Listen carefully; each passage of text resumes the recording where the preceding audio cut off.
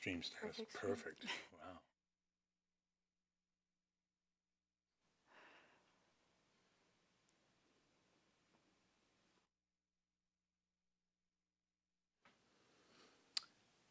Hey everybody, Steve Tarter, and uh, another edition of Tarter Source. And with me today, Ashley Thomas, no stranger to Peoria Life. Uh, you are the host S, host hostess of Cook with Me. And how long have you been TV? Yeah. Let's add that part. It's not on radio, folks. It's on TV. Um, how long have you been doing that? I know, but Yeah, them. yeah. Um, I started it last January, so a little over a year, year and a half now. And you are no stranger to this format. Where let's explain this for the folks that haven't seen it. You take about how long? What's 30, 30 to 45 30, minutes. 40 minutes, whatever it takes to do. And you actually prepare a meal, Mm-hmm. and people can do it right along with you. Yep. Okay. Exactly. Uh, where'd you get that idea? Ooh, that's a great question. Actually, it was my husband's idea. Right. So I don't know if anybody. Give him credit. Yeah, we have to give him credit. Um, I don't know if anybody's familiar with Twitch. It's a gaming platform. Right. Um, it's very popular, and essentially, people can go on there and watch somebody stream themselves playing video games for like 10 plus hours at a time. Let me guess. There's like millions of people watching. This, There are. you know. Yep. It's hugely popular. Um, Mm-hmm. And so my husband was like, you know, if people are interested enough to watch somebody play a video game, surely they're interested enough to learn how to improve their health in the kitchen. You would think. You would think. you would think. So that's kind of where the idea was born. So Uh-huh. we essentially started off with this idea of creating something called Twitch for dietitians. Twitch. Okay. Um, don't switch, just Twitch or something. We'll have to work on the theme. Uh, but now you have been interested. You are a dietitian by trade, and explain what that is. A dietitian, because somebody might think, well, you know, I think I know what a dietitian is. How do you Yeah. how do you, how do you describe it? I think people use the terms um, registered dietitian and nutritionist interchangeably. Mm-hmm. Um, basically, a registered dietitian has gone to school for at least four years um, in an accredited dietetics program and earned their bachelor's degree in that. Um, they've also done a 1,200 hour supervised internship and then sat for a national board exam. Twelve hundred hours of internship. So what Mm-hmm. were you doing in those twelve hundred hours? So we rotate throughout all different areas of nutrition. Oh. Um, the main one being clinical nutrition. So we'll work in hospitals in both the inpatient and outpatient realm.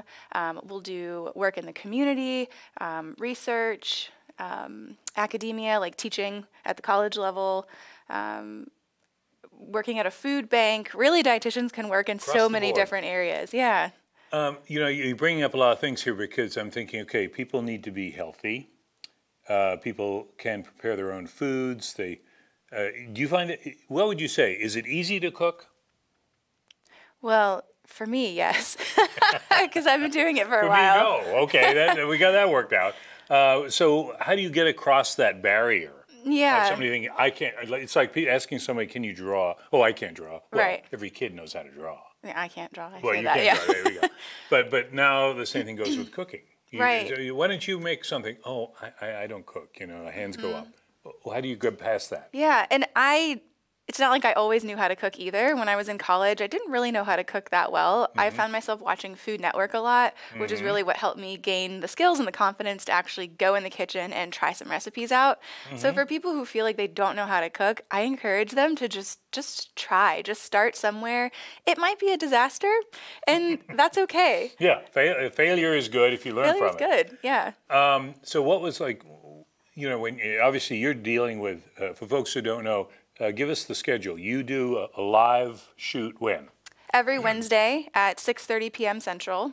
And when, where do we watch this? You can watch this on our Facebook page, which is Cook With Me TV. And if you want the back shows, you go to Peoria Life, and they've Yes. Mm-hmm. got the, the backlog, so you can catch up on, on your past hits. Yep. Um, those things you pulled out. Oh, well, anyway, don't look at this. Yeah. And, uh, no, you probably have done very well. Um, so, what would you say are the first things that you kind of learned how to cook? Ooh. Um, pasta. Pasta. Basic boiling Now, water. weren't you telling me that you come from Italian background? Uh-huh. Some in your my, family? My mom, my mom's side of the family is Mom's of Italian. So this this comes naturally. It does, yeah. So okay. I grew up eating lots of pasta. Uh, and and that's and that's sort of engaging because most people like pasta Yeah. Mm-hmm. dishes. I mean, they're hugely popular in many forms. Uh, kids like it, Ooh, so yeah. it's it's like a nice thing that the whole family can enjoy. right. hmm Um, what what do you find the hardest things to get people to like? Is it broccoli? Is it cauliflower? I mean, is it that stuff? Vegetables. Vegetables. Yep, vegetables. And I find that a lot of people are turned off by vegetables, and so they don't ever really try to cook them again. And I think a lot of it has to do with the way that they were prepared the first time they tasted them. So, like, if you had, no offense to anyone, Mm-hmm. mom or grandma's overcooked broccoli, which is olive green and mushy and, Yeah, yeah. and bitter and it doesn't have much flavor, you're not going to think that you like broccoli. Right. But it's a little bit different if you steam it or if you roast it with some olive oil, salt, and pepper and rosemary. It tastes completely Mm-hmm. different. And of course, the other thing is now we're hearing more about this farm to table because that's Mm-hmm. another element that you work with, trying to get fresh ingredients, locally grown Yeah. ingredients, and that's coming up.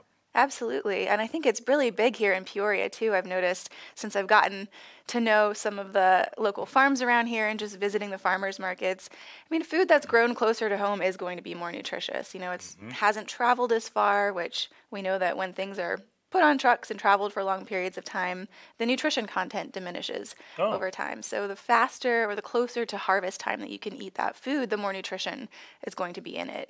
So uh, more, and I think we we talked about this at an earlier date too. Um, farmers market is you highly recommend that. Mm-hmm. Oh, yeah. Yeah. Yeah. Because there's your, there's your local food. There it is, fresh. Mm-hmm.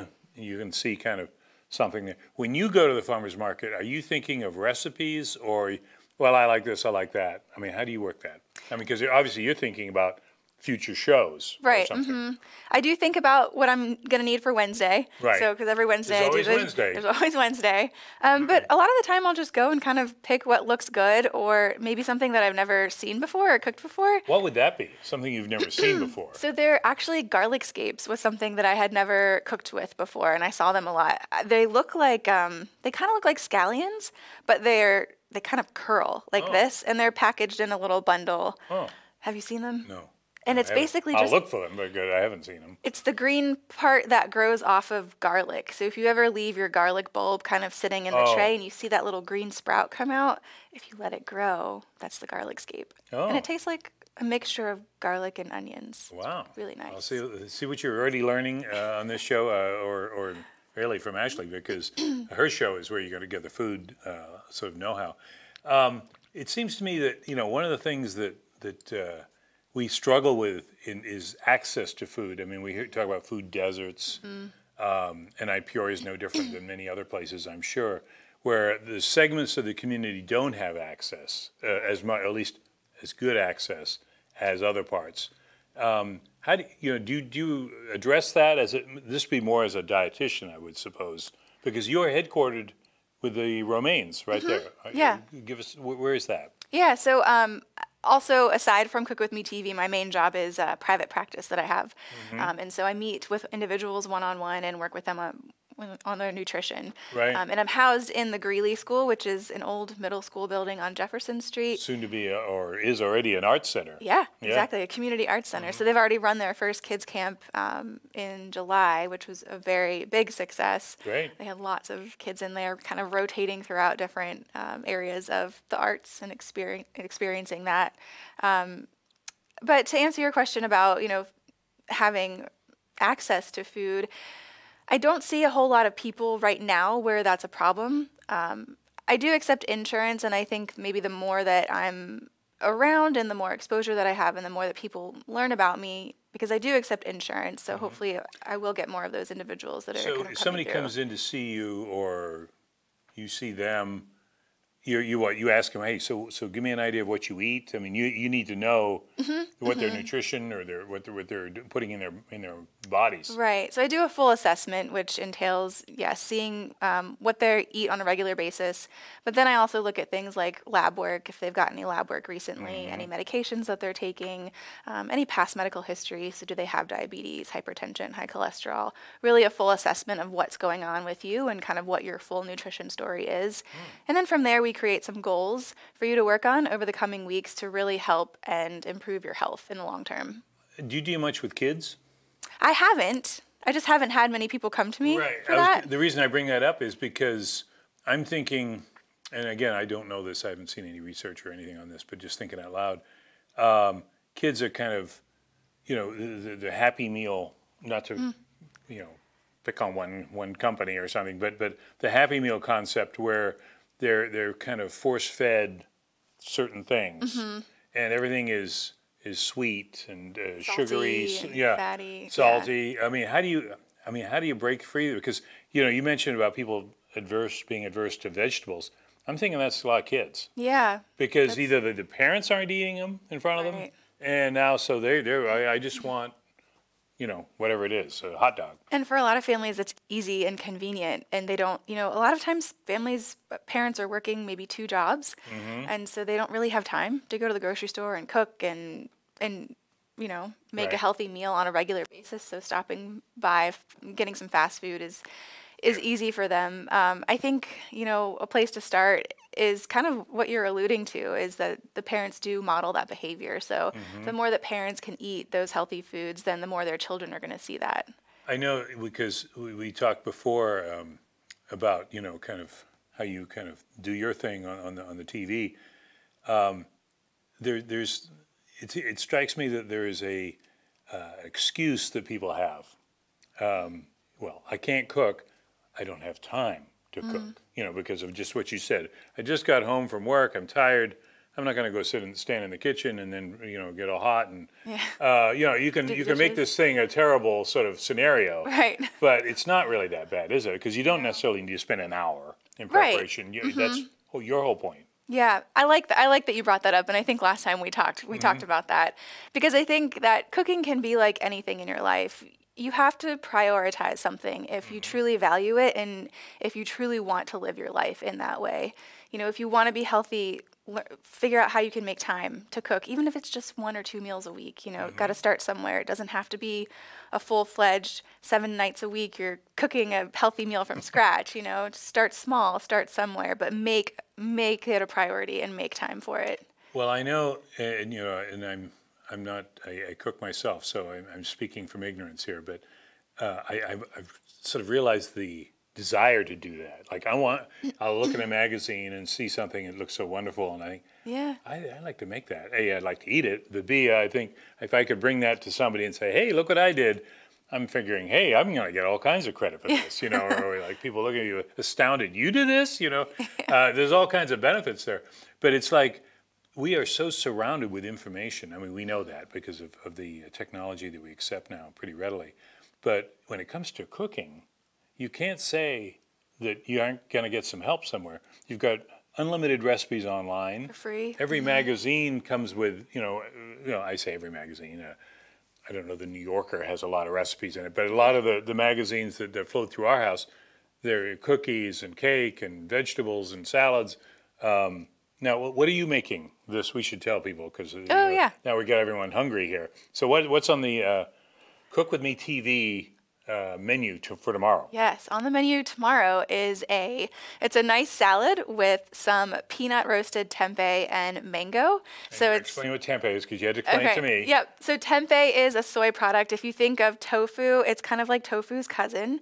It's slightly healthier than tofu though because it's been fermented. So there's lots of healthy um, probiotics in it, which are good for our gut. Um, so and it kind of resembles. Um, you can do a lot of things with it. It resembles ground meat if you kind of crumble it up. So you can kind of put that in place of ground meat if you're making like tacos or stuffed peppers or Oh. some kind of casserole or whatever it is that you're So, making. and where do you find this tempeh? Um, I have found it at Kroger, uh, Hy-Vee. Oh, so all over. I mean, All I know Mm-hmm. you mentioned a couple of big stores, so I haven't seen it at Aldi's, but I've- Okay. and it's usually in the produce section next to the tofu. You know uh, this we're off topic here, but such is life. Um, Aldi's, uh, you know, got to give them credit uh, because sometimes you get uh, sort of pigeonholed as, oh yeah, no, it's just uh, you know, sort of uh, cheap, small, uh, cheap merchandise. They're very, really good. The only problem I found with Aldi's is if you just run in for something, you know, one or two items, you oh, and then you come to the front and it's like backed up. There's like two two people working feverishly, and everyone in front of you has a huge cart full of food. That's the only problem. They don't really have that quick aisle, uh, which the other places do. But- so you work on that, all these, and uh, you get back to us. Uh, they're probably saying, you know, Steve, we're doing fine without your Yeah. help. so anyway, um, now you mentioned um, watching TV, uh, the the Food Food Network. the Food Network, by the way, has a pretty nice magazine. Uh, They do, yeah. We, I don't know who got it at our house. It comes in there. I think sometimes magazines just arrive once you start getting one or two others. But um, who do you like on there now? Oh gosh, well I don't really watch it anymore. watch it? Oh, no. You I know. moved away from I, I have moved away from She's it. She's got her own, see? She I don't watch a whole you lot of guys TV. anymore. Well, when I did watch it, I really loved Giada De Laurentiis. I don't know if she's still on there. I don't She know. Probably is. She's like the Italian Well, and yeah, and, and one I, of them at least. And I know she's kind of some of them ascend. You know, they become Yeah, start selling potware and- and, uh, yeah. become internet I- icons. Right. Um, yeah, the the one that, that you've probably seen, and, and my son watches it more than me, but I will watch it when it's on. Is that diners, dives, and uh, with the Drive-ins, yep. drive-ins, because that's always fascinating. First of all, there's never been anything he doesn't like. Yeah. the, guy, with the white hair guy, um, which is fine because you know you you want to you know give people credit, but I'm always looking at that. He goes into the kitchen and they, they show the, how they make it. Of course, it's sped up, so Right. you know you don't ever just sit there for two hours. But I'm always thinking, where where where are places like this? And of course, we have Yeah. some here in Peoria, but um, you know they, some of these are just amazing. Milwaukee or you know these towns they go to, and they have these. One Yeah. Have you run into that? Have you run into some places where you, because you you're from Originally from Florida, originally from Florida, then you were in South Carolina. Charleston, South Charleston, Carolina. yeah. hmm and now I come here. Um, so in those travels, uh, have you come across some some pretty interesting places? Oh gosh. Yeah. Well, yes. You're, you're more into Charleston. this. Prepare it yourself. I don't know if you like the restaurant concept. I do. Well, I grew up kind of during the time that I was watching a lot of Food Network. I loved eating out at restaurants. It was Oh, just okay. kind of like one of my hobbies. Well, yeah, so you're, you're picking up notes, probably. Yeah, yeah, and experiencing new flavors. Um, there's some there's some really great restaurants in Charleston, South I bet. Carolina. It's known for having good Well, food and good huge hospitality. visitors. Number of visitors go through there. Lots of great seafood. Um, I do remember I stopped at a place in Asheville called Tupelo Honey, Hmm. which had a really delicious fried chicken biscuit. Oh man. really, really good. Not the healthiest thing, but back, you know. back there in Asheville. Yeah. Uh, the the whole food thing. It, it strikes me that now there's so much attention to being healthy, eating the right foods.